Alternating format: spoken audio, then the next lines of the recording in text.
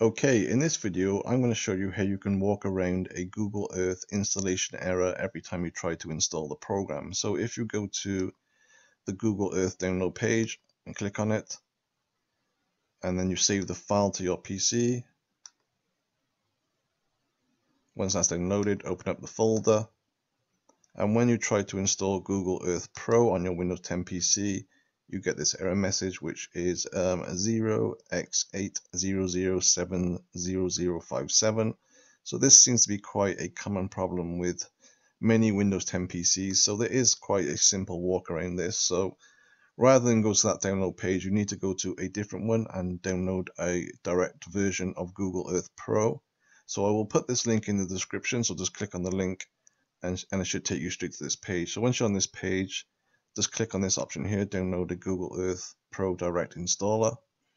Then it gives you multiple choices. So the top one, version 7.32, is the latest version at time recording this video. So you can see there's 32-bit version, 64-bit version, there's one for Mac, and so on. So just choose the one which suits your, your PC. In most cases, 64-bit version will be the correct one. So click on that. Save the file to your PC. It may take a few minutes to download and so on. Okay, that's now been downloaded. So if I open up that folder, we can see it's downloaded the full version of Google Earth up here. So it's 61.5 megabytes rather than the um, small version, which is just 1.3 megabytes. So if we click on the full version here and just follow the instructions on the screen, so just choose the settings you want. I'm just going to untick these and then I'm going to click install.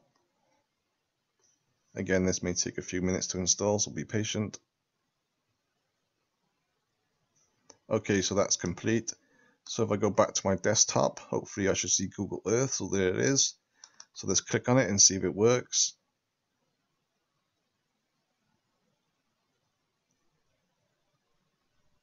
So that is now loading and is working completely fine. So that's how you get around that error message. Thanks for watching.